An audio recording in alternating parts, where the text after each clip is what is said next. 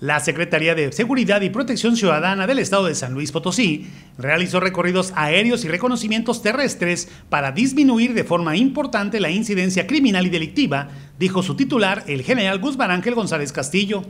Los sobrevuelos se realizaron en polígonos a bordo del helicóptero Potosí 1, tanto en la zona metropolitana y en la periferia sobre sectores de difícil acceso como brechas y predios, actuando de manera coordinada con las unidades policiales a tierra y con los filtros de atención ciudadana para detectar armas de fuego, droga, entre otros ilícitos